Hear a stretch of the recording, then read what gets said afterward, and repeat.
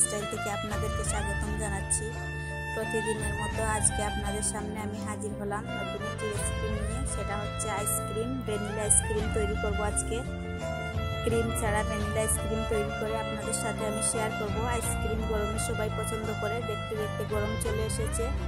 গরম আসা মানেই হলো বাচ্চারা ছুটে যায় আইসক্রিম খেতে দোকানে। কিন্তু বাচ্চাদেরকে বাইরে আইসক্রিম খাওয়ানোটা উচিত হবে। প্রিয় দর্শক, আমার কাছে মনে হয় না বাইরে আইসক্রিম খাওয়ানোটা উচিত হবে। তাই আজ আমি ঘরে মজা করে ভ্যানিলা আইসক্রিম তৈরি করব। দেখুন, একটি পাত্র নিয়েছি। পাত্রের মধ্যে আমি হাফ লিটার লিকুইড দুধ নিয়েছি আর এটার মধ্যে মেজারমেন্ট কাপে এক কাপ চিনি দিয়ে দিয়েছি। দিয়ে দিচ্ছি পরিমাণ মতো কর্নফ্লাওয়ার।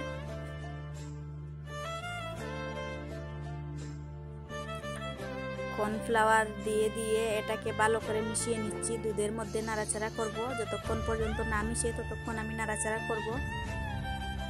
এখন দিয়ে দিচ্ছি হাফ কাপ গুঁড়া দুধ। দুধটাকেও, গুঁড়া দুধটাকেও আমি লিকুইড দুধের মধ্যে ভালো করে মিশিয়ে নেব। যতক্ষণ পর্যন্ত না মিশে ততক্ষণ আমি নাড়তে থাকব। গুঁড়া দুধ মিশে গেছে। এখন আমি এটার মধ্যে দিয়ে দিচ্ছি condense milk half cup condense milk দিয়ে দিচ্ছি। মিষ্টিটা আপনারা ইচ্ছা মতো দিবেন, যার যতটুকু প্রয়োজন। এখন আমি দিয়ে দিচ্ছি দুধের মধ্যে ভ্যানিলা এসেন্স। ভ্যানিলা এসেন্সটাকে ভালো করে নেড়ে চেড়ে নিচ্ছি। এখন আমি চুলার মধ্যে পাত্রটিকে বসিয়ে নেব। বসিয়ে দশ মিনিট আমি এই দুধটাকে জাল করব। দশ মিনিট জাল করা হয়ে গেছে, প্রিয় দর্শক। এই দেখুন, দশ মিনিট পর এইরকম দুধটা হয়েছে। দেখতে যখন এইরকম হয়ে যাবে, তখন আমি এটাকে চুলা থেকে নামিয়ে নেব। চুলা থেকে নামিয়ে নিচ্ছি, প্রিয় দর্শক। নামিয়ে এটাকে আমি ঠান্ডা করে নিয়েছি একটি বোলের মধ্যে। আর এখন একটি ইলেকট্রিক বিটার দিয়ে আমি বিট করে নিচ্ছি লো হিটে দুই মিনিট বিট করব, এরপর হাই হিটে আরও তিন মিনিট বিট করব। মোট পাঁচ মিনিট বিট করার পর আমি এটাকে দেখুন, দিয়ে দিচ্ছি কিছু ফুড কালার আর অরেঞ্জ এসেন্স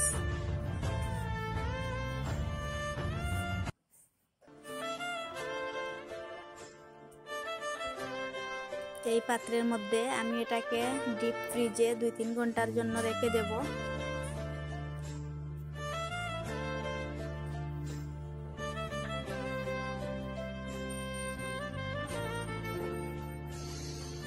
দুই তিন ঘণ্টা পর দেখুন প্রিয় দর্শক, আমি ফ্রিজ থেকে বের করে নিয়েছি। আইসক্রিমটাকে দেখুন এইরকম হয়েছে দেখতে। এখন আমি আবারও এটাকে ইলেকট্রিক বিটার দিয়ে বিট করব ভালো করে। হাই হিটে পাঁচ মিনিট আমি আবার বিট করে নিচ্ছি, প্রিয় দর্শক। ভালো করে গুড়িয়ে চতুর্দিক গুড়িয়ে বিট করতে হবে।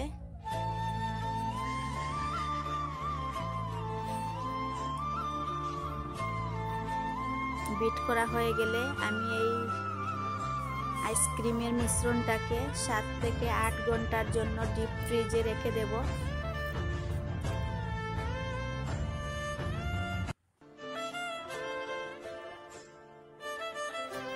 দেখুন, একটি প্লাস্টিকের বাটি নিয়েছি আমি, আর বাটির মধ্যে মিশ্রণটাকে ঢেলে দিচ্ছি।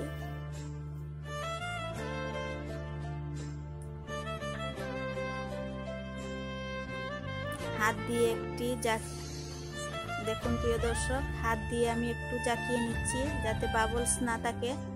আর এখন আমি এটাকে রেখে দিচ্ছি ডিপ ফ্রিজে আট ঘণ্টা পর আমি ডিপ ফ্রিজ থেকে আইসক্রিমটা বের করে নিয়েছি। এটার উপরে আমি কিছু চেরি ফল দিয়ে দিয়েছিলাম কুচি করে।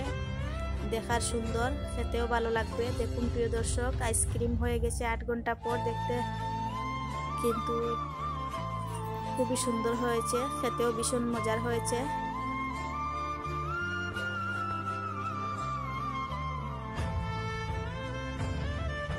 দেখুন ক্রিম ছাড়া আইসক্রিম কত সুন্দর হয়েছে, খেতেও কিন্তু ভীষণ মজার হয়েছে, আপনারা একদিন ট্রাই করবেন। আর ট্রাই করে আমাকে কমেন্টে জানাবেন, প্রিয় দর্শক, আজ এ পর্যন্ত ভালো থাকবেন, সুস্থ থাকবেন, আমার জন্য বেশি করে দোয়া করবেন, আমিও আপনাদের জন্য দোয়া করব। আর আমার রেসিপি যদি ভালো লাগে, তাহলে আমার চ্যানেলটাকে সাবস্ক্রাইব করবেন। ভালো না লাগলেও দেখতে থাকবেন, দেখতে দেখতে ভালো লাগা হয়ে যাবে। আর কমেন্ট করবেন।